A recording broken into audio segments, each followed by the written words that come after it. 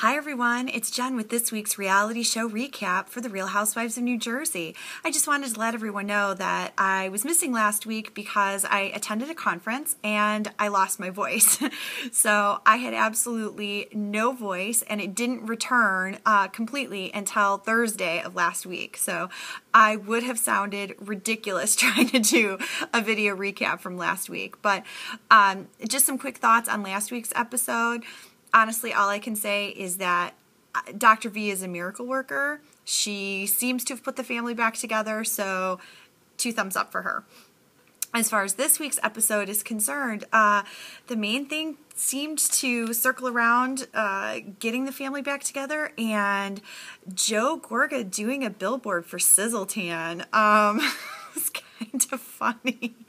Um, I found it entertaining, at least, that everybody seemed to be concerned about whether Teresa was going to think he was copying her and should Melissa do it? Shouldn't she do it? Because, you know, Teresa's made all these comments about Melissa does everything Teresa does and blah, blah, blah. I think there was a little too much talk about Sizzletan. However, I do think it was fun to see um, the photographer Manny, who takes wonderful pictures, and uh, uh, Robin Santiago from Illumination PR in the background. Uh, so that was a lot of fun. Shout out for Robin.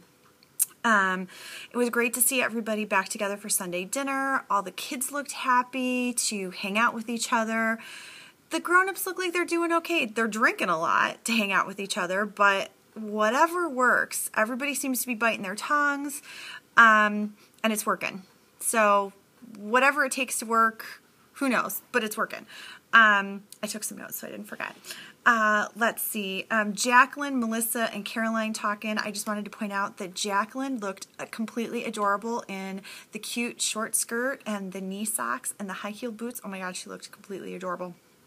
Um, let's see, what else was there? Um, I did find it interesting that at dinner, uh, at Sunday dinner that Joe Judice was the voice of reason uh, when it came to the topic of Jacqueline. Uh, and telling Teresa that she needed to just move on from all the Jacqueline crap uh, and be done with it. So I thought that was interesting because he's not usually the voice of reason. Um, you don't associate Joe Judice and reason. Those two things don't go together in a sentence.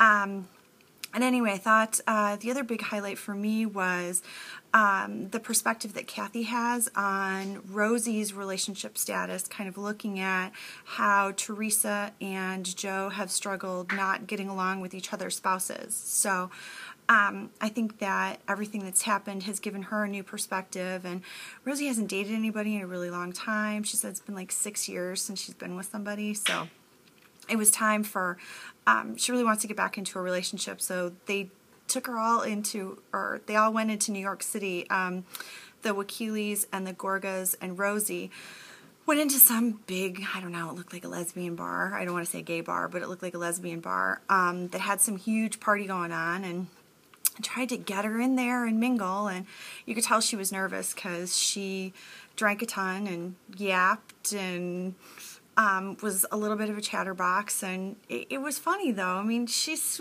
she's Rosie. Everybody loves Rosie, so you know, hopefully something will materialize, and um, it'd be nice to see her have a girlfriend or something like that in the near future, because everybody loves Rosie. Who doesn't love Rosie? Um, other than that, uh, you know, the other big thing was Jacqueline and um, Teresa finally got together at the end to have a conversation. I know Chris and Joe were downstairs, and guys don't hang on to drama like chicks do. You know, two guys can sit in a room and have a glass of wine, have a cigar, and they're done with it. They don't need to rehash, they just move on.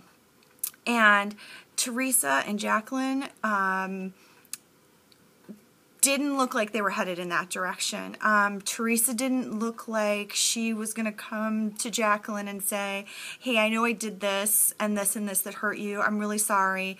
Um, I don't really want to continue our friendship, but I'd like to at least be civil. Not really the tone she took. Um, Jacqueline definitely looked like she was um, holding back and trying not to start World War III, so I um, applaud her for that. But um, I don't know how that one's going to turn out. Um, they didn't finish the conversation on this week's episode. We'll see more of it next week. Um, Teresa still looks like she's blaming Jacqueline for the whole Posche fashion show uh, craziness from last year. Uh, and saying that Jacqueline's the reason that she and Joe didn't talk for a year and a half. And I think Teresa's actions are why she and Joe didn't talk for a year and a half. But Teresa's got to come to that on her own. Um, at any rate, that's kind of this week's episode in a nutshell. There wasn't really that much else exciting going on besides, you know, uh, those three things. And then, of course, the Manzo boys are uh, putting Little Town together. But otherwise, you know, it was a lot of love fest between the Gorgas and the Judices. So uh, tune in next week.